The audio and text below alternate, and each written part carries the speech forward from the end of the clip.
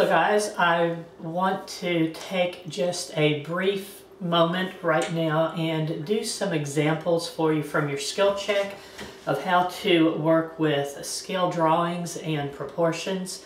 So we're just going to dive right into it, but I've got this lame joke for you. I think I've used it before, but I'm sort of in the mood for it again today. And I'd like to know if you can tell me what it is that cats like to put in their cold drinks, or to keep their drinks cold. Well, the thing that they love most of all to keep their drinks cold is mice cubes. So, I'm going to talk about scale drawings, and I'm going to read from your book to remind you that a scale drawing is a drawing in which all of the lengths are in the same ratio to the actual length. And you see this all, all of the time with architectural drawings or with blueprints. You know, you've got this little picture right here in front of you that represents something very, very large. And when it but you have what they call a scale and it's on the map and it says, okay, for every inch that you go on the map, that might be the same as traveling 100 miles. And we've been talking about ratio, where a ratio is just one number in relationship, how it relates to another.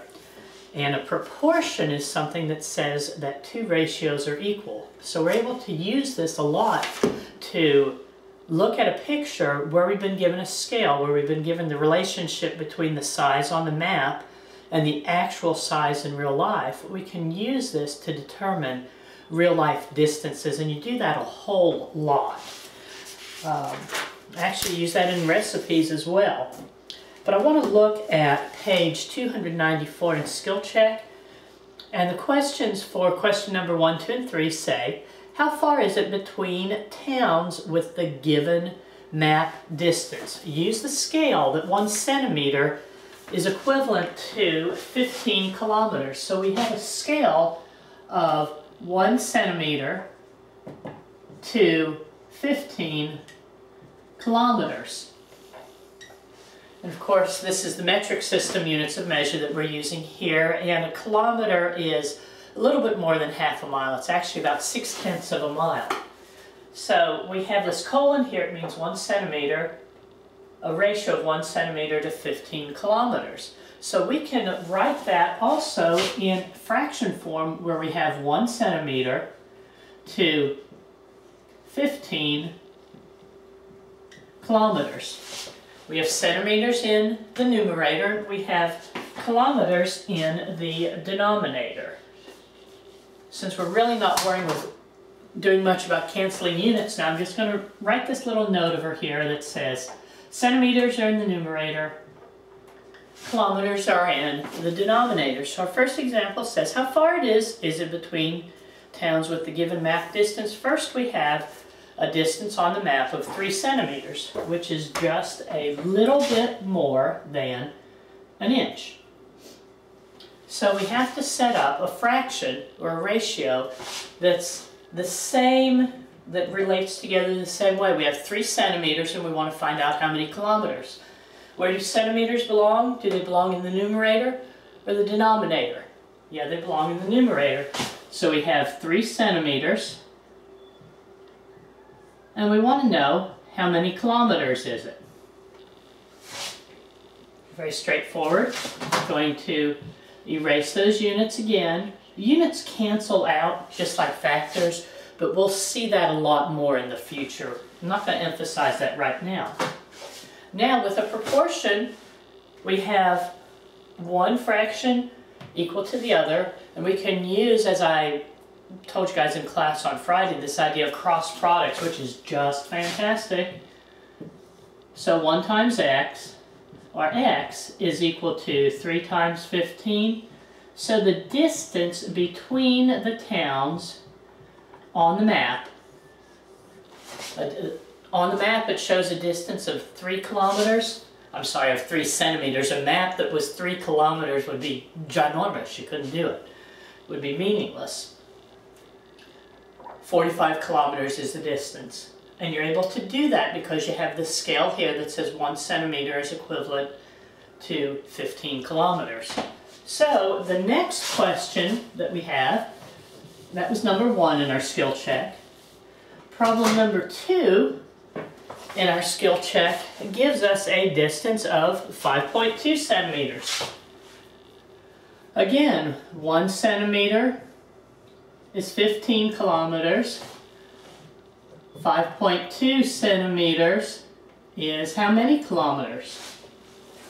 1 centimeter, 1 to 15, 5.2 to how many? Because you're measuring distances and it's not hardly ever going to come out to be an exact distance. Cross products work just the same. 1 times x is equal to 5.2 times 15. x is equal to 52 times 15. 15, two fives are 10, 26, 0, 2, 5. Hopefully I did that right. 780. Is it 780? No. You know, I said 52 times 15. You have to allow for that decimal point in there. Don't forget that. So we have a distance of 78 kilometers between the two towns that are where we've measured the distance on the map of 3.4 centimeters, I'm sorry, of 5.2 centimeters. Our last problem in this set is we have 12.7 kilometers. What's the distance?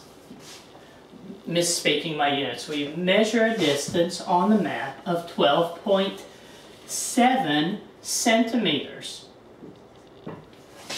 Our ratio here remains the same instead of it being 5.2 centimeters, the distance between those towns on the map is 12.7 centimeters. We cross multiply again. 1 times x is x is equal to 12.7 times 15.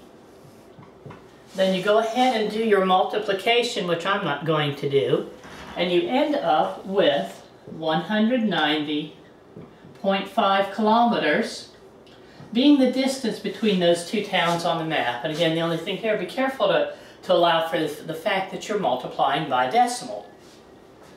All right? Now there are two problems remaining in the skill check, and they they are referring back to this scale drawing that we have here. And this is just a drawing that you could sketch very quickly. It's different than uh, an old-time map that you would have that would show roads squiggling all around, but it still represents the same thing. We have four towns, Dover, Concord, Bradford, and Keene. We have a scale that's given to us. This is where it says, okay, for this map, for every two centimeters, that equals 25 kilometers. And then we have the distance between Dover and Concord. Distance between Concord and Bradford. Between Bradford and Keene, it's 4 centimeters. Between Keene and Dover, it's 3.4 centimeters. So we can figure out how far it is between any of these towns. And this would be less valuable than an actual map because your road's not going to go straight for 10 miles, dead straight for 10 miles maybe if you're someplace out in the Midwest where there's nothing. But this would be the distance between the cities as the crow flies is a figure of speech that we use. So our first question is what is the distance between Bradford and Keene? We want to find the different distance between those two cities. What's our scale that has been given to us? We have 2 centimeters represents 25 kilometers. So we have to set up a corresponding ratio. We want to find out what the distance is between them. Distance is expressed in kilometers. It's going to go in the denominator. We don't know what it is. The distance between them in the map on centimeters, centimeters go in the top, kilometers go in the bottom. Now we cross multiply. 2 times x is equal to 4 times 25. 2x is equal to 100. Then you already know that the answer is 50. The way that we get to the 50 is we divide both sides of this equation by 2. And we have that the distance between Bradford and Keene is 50 kilometers. So you see that this is very, very straightforward. Now they want to know the distance between Dover and Keene. And this is our last example from our skill check. All I'm going to do is change the problem number here to problem 5. Because the original ratio is set up, our scale is 2 centimeters, it's 25 kilometers. The distance between Dover and Keene is 3.4. Cross multiply, cross products 2x is equal to 3.4 times 25. Um, I was going to show you something about the calculator. I'm not going to do that right now. So we have 25, 3.4, 4 fives are 20, carry 2, 100, 0, 5, 75, 0, 5, 8. I think I did something wrong there.